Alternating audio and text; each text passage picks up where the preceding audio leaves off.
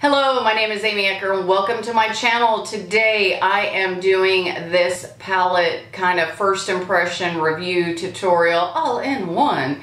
And so I just wanted to say thank you to Sabrina, the makeup mom, for passing this along to me.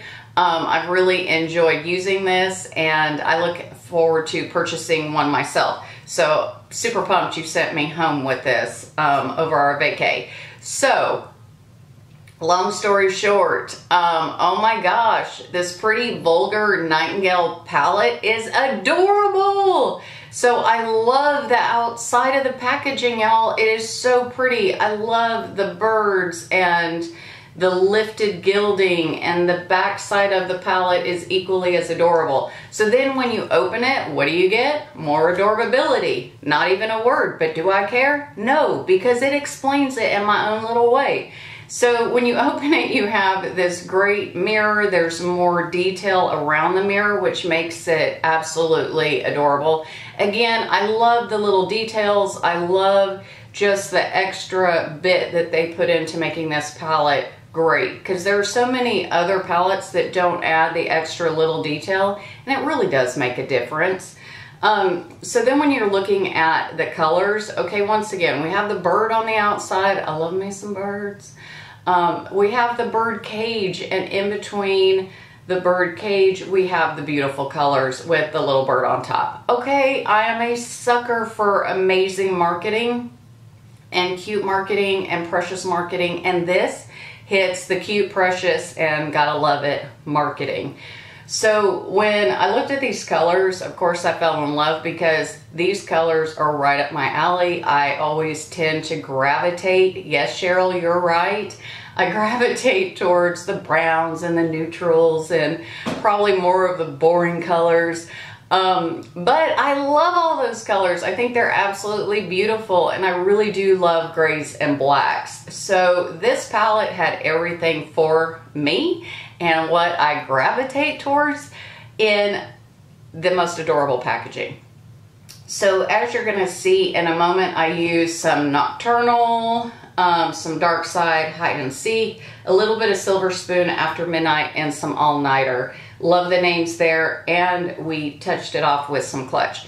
So I did kind of a um, halo smoky eye with this. I will say the palettes for the beginning users, um, you are probably going to like these palettes because it doesn't have a lot of fallout. The pigmentation isn't off the hook which is good because it gives you an opportunity to blend and build up your color, which is really nice because if you are intimidated by high pigment colors or colors that have a lot of fallout, this palette really isn't going to have either of those problems for you.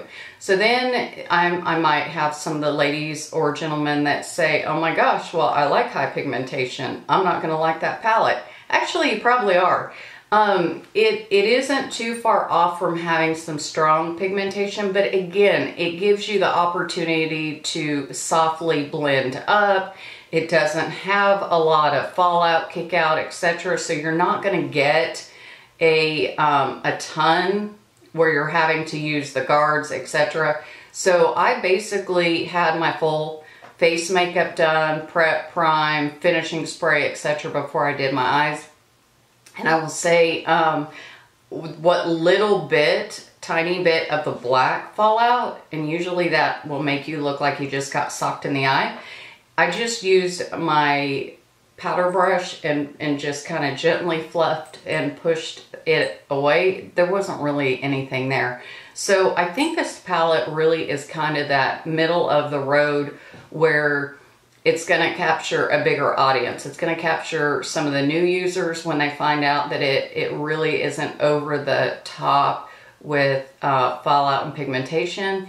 It's going to bring in those people that aren't 100% confident. And then because it is a pretty palette and it builds up nicely and softly, I think for those people that are comfortable or pros are going to like it also because it really is so user friendly. So I think it, it um, kind of basically captures a large wide range of audiences. And again, the, the packaging was beautiful. The colors were awesome. I used Clutch at, uh, with no setting spray, no, um, I didn't get my brush wet, and I was impressed by how pretty it was without the need of having to wet the product. Um, I find shimmers a little irritating when you have to really wet the product to make it look like what is in the pan. And this one I really didn't have trouble. I like being able to use a dry powder. Um, so I, I kind of had fun with this look. And if you want to see how I created this eye look, uh, please stay tuned. And I hope you guys have a great day.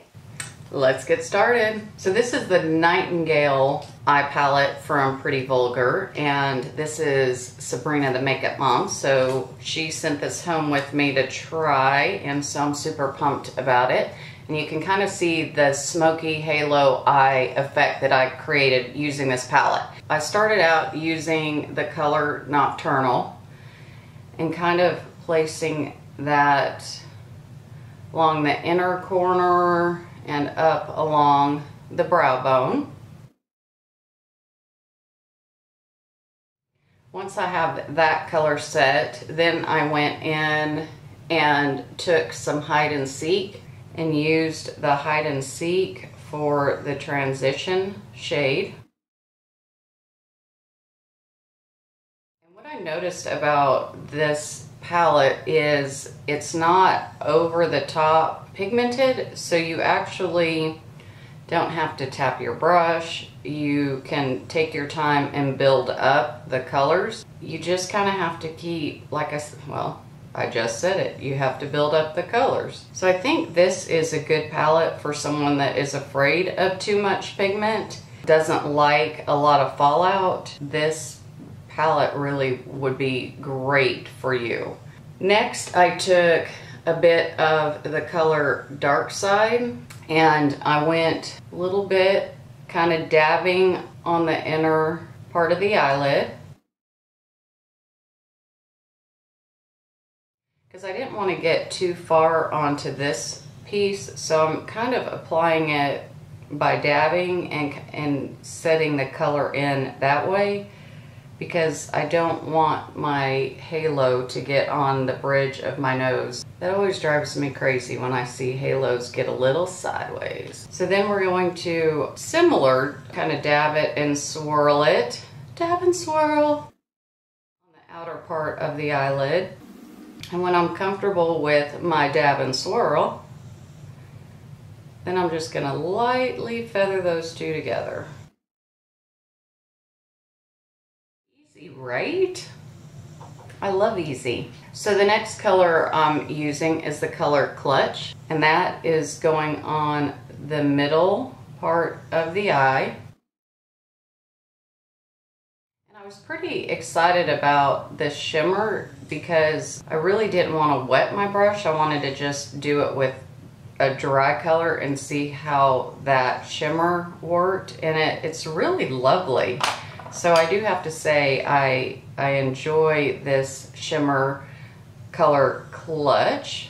I did take a spot of the color All Nighter on a flat brush and put that towards the outer third of the eye. Then I took a bit of a fluffier brush. Um, this is a detail brush by Royal and Langnickel and went in with the After Midnight color. I was like, did I use Silver Spoon? We'll do Silver Spoon and After Midnight. How about that? So gonna, I might have two different color eyes. But just going over the top of the all-nighter creating a, a really pretty soft effect on the under under eye. I'm also going to take the Sephora Outrageous Intense waterproof gel eyeliner. So I'm going to use that on my inner waterline. And then I'm going to take that on the flat brush and basically go on the upper lash line. I basically just smudged that on the upper lash line. I'm not trying to do a real intense black line. I wanted it a little bit more soft. Just kind of smudging that along the upper lash line worked for me. Now I'm going to apply my Ardell Wispy, and I'm not sure what number this is. Okay, well that's setting in place so that I can add some mascara.